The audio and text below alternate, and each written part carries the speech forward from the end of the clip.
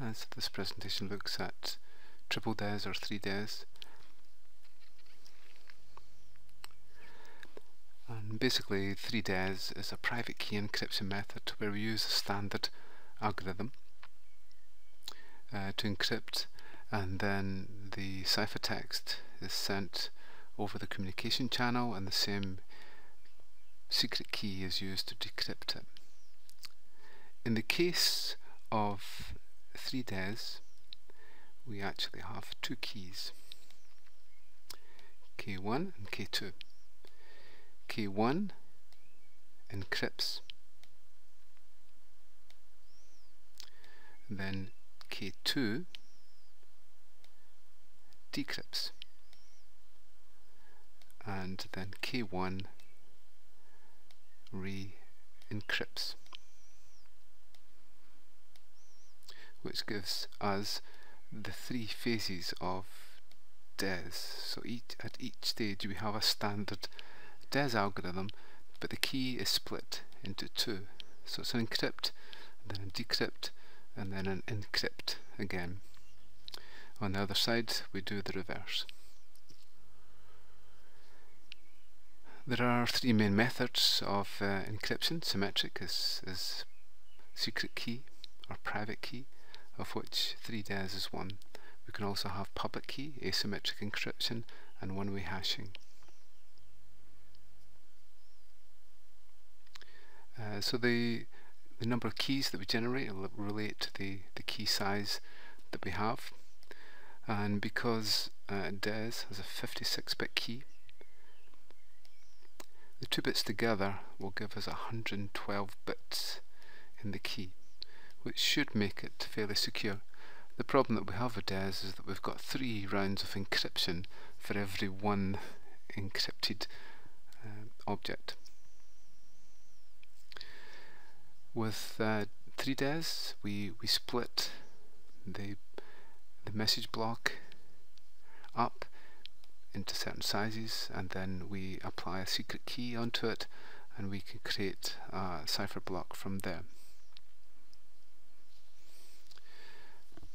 In a standard electronic code book we can we then encrypt each block with the key. The problem with that is that each block will always come out the same. So we often add salt and that involves an initialization vector.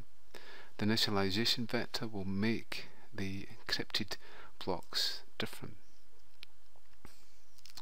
So this shows a standard for cipher block chaining or CBC. We have an initialization vector and we use that with the block and with the key to be able to get a encrypted, block. Then this is then chained into the next block and so on. So it will vary as, as we go along. Okay so 3DES uh, gives us one, our 112 bits. The 2 times the 2 times 56 bits uh, gives us our our, our key size. So then as we said we encrypt. We then decrypt with the second key and then we encrypt again with the third key. So to keep compatibility these two keys are actually the same. So let's have a look at our code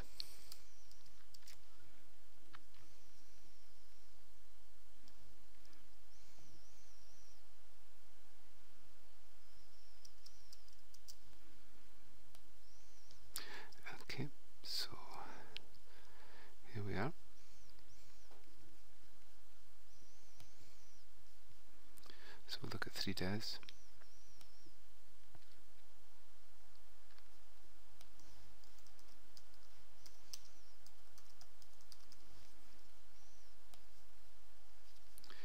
Okay, so the program stop here. Uh, so this is our crypto provider and this is a standard part of the .NET 2 framework. We're using an initialization vector here of just 1, 2, 3, 4, 5, 6, 7, 8 uh, to give us our initialization vector. Okay, so let's step through our program.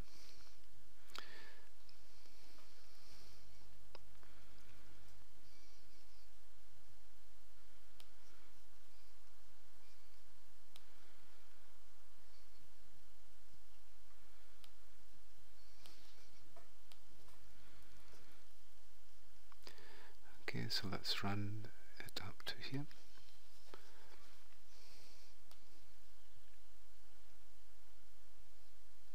Okay, so we've got a problem there with our key. So we need a longer key. This caused an exception. And this one is acceptable.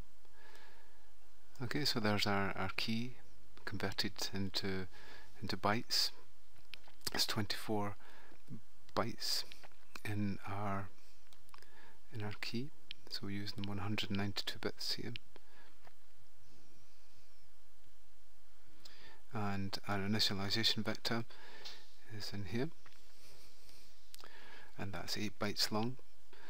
This will create our 3DES encryptor. We then encrypt the stream to get this as our cipher text. If we then run it through, then we see we get the result at the end. If we use a different uh, IV, so if we remember we got F7BE, if we use a different IV, then we should get a different cipher stream.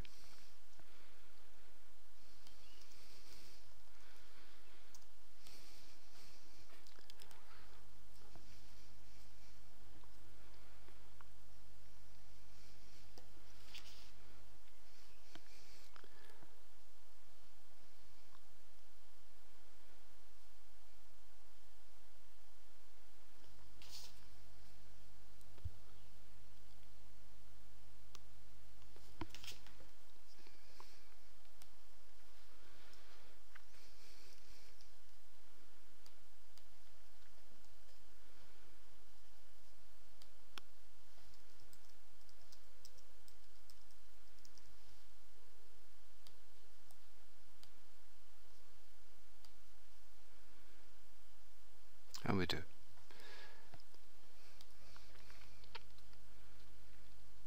Okay, so that shows how we use CBC with 3DES.